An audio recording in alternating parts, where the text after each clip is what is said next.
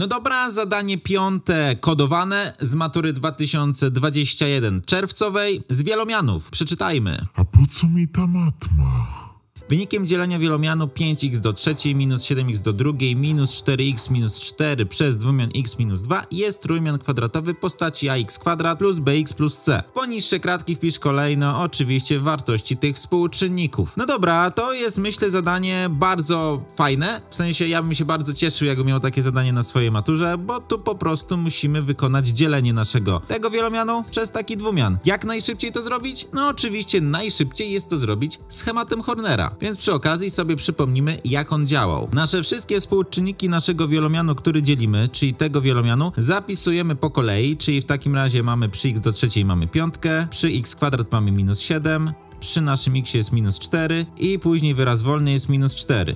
No dobra, natomiast tutaj ważne, że jeżeli dzielimy przez dwumian x minus a, czyli my patrzymy na ten dwumian, że to jest x minus liczba a. Można powiedzieć, że ta liczba a to jest ta liczba, która zeruje nam ten dwumian. Czyli co musimy wstawić za x, żeby się wyzerowało? No 2 minus 2 nam, da nam 0, czyli nasze a jest równe 2 oczywiście. I tutaj sobie z boku zapisujemy nasze a równe 2. Robimy sobie tutaj kreseczkę, tutaj sobie robimy kreseczkę, no i teraz na jakiej zasadzie to działa? Piątkę, czyli pierwszy współczynnik przepisujemy po prostu, czyli tu jest piątka, natomiast w kolejnym kroku tą naszą liczbę a wymnażamy z tym, co jest tutaj, czyli tutaj mamy mnożenie i wynik zapisujemy tutaj w kolejnej kolumnie, pod już minus siódemką, czyli 2 razy 5 to będzie oczywiście no 10 na plusie. No i teraz dalej w ramach tej kolumny do siebie to dodajemy, minus 7 dodać 10 to będzie oczywiście 3. No i teraz w kolejnym kroku robimy to samo, znowu naszą liczbę a mnożymy z tą naszą trójką, która jest tutaj i zapisujemy w kolejnej kolumnie. 2 razy 3 to będzie 6, czyli tu zapisujemy sobie 6, minus 4 dodać 6 to będzie oczywiście 2. No i w kolejnym kroku znowu nasza liczba a wymnożona przez to, co nam tu wyszło, to jest mnożenie i zapisujemy ją w kolejnej kolumnie. 2 razy 2 to będzie 4, czyli tu będzie 4,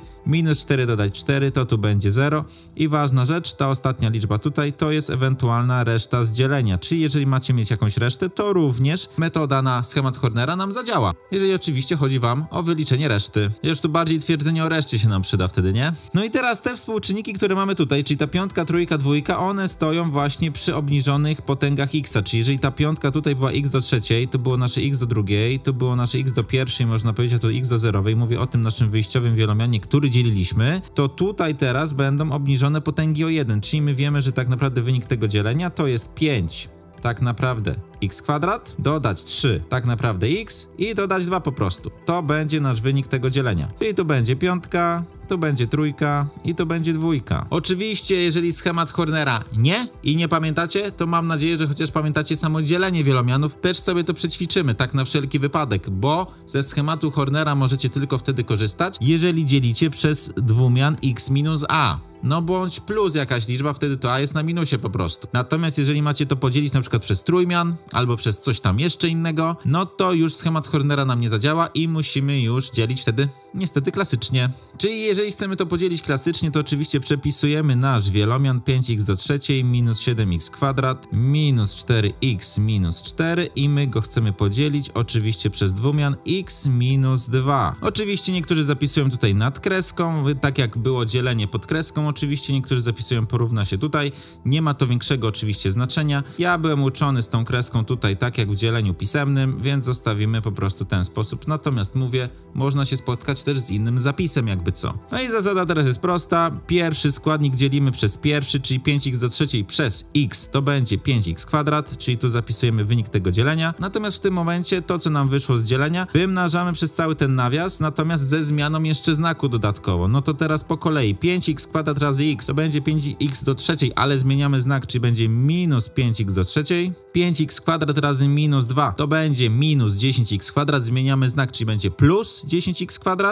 No i fajnie, dodajemy sobie, tu oczywiście mamy 0, tych x do trzeciej, tutaj nam zostanie 3x kwadrat. Możemy sobie zrzucić kolejny składnik minus 4x, ten stąd, oczywiście tu na dół, tak jak w dzieleniu, że tak powiem. No i znowu pierwszy składnik przez pierwszy, 3x kwadrat przez x to będzie plus 3x po prostu. I teraz 3x wymnożone przez cały ten nawias ze zmianą znaku, czyli 3x razy x to będzie 3x kwadrat, zmieniamy znak minus 3x kwadrat. I 3x razy minus 2 minus 6x zmieniamy znak to będzie plus 6 x oczywiście. Znowu dodajemy sobie pod kreską, tu zostaje nam 2x, przepisujemy oczywiście naszą minus czwórkę na dół, czyli tu będzie minus 4. No i znowu robimy to samo, czyli dzielimy pierwsze przez pierwsze, czyli 2x przez x to będzie po prostu 2, czyli dodać 2. No i teraz znowu 2 razy x zmieniamy znak, to będzie minus 2x i 2 razy minus 2 to będzie minus 4, ale zmieniamy znak, to będzie plus 4. Cyk, pyk, mamy 0, wszystko się zgadza. To jest też wynik naszego dzielenia. Wyszło to samo co w schemacie Hornera, choć wydaje mi się, że schemat Hornera jednak jest szybszy. No powiem szczerze, takie zadanie w sumie to 1 na 10, totalnie proste oczywiście, pod warunkiem, że umiecie chociaż w jeden sposób y, dzielić wielomian przez jakiś dwumian, ale raczej sobie nie wyobrażam, że jeżeli jesteście na rozszerzeniu, to nie potraficie chociaż jedną metodą tego robić, a jeżeli nie za bardzo potraficie, to myślę, że to jest najwyższy czas, żeby sobie odkurzyć ten materiał.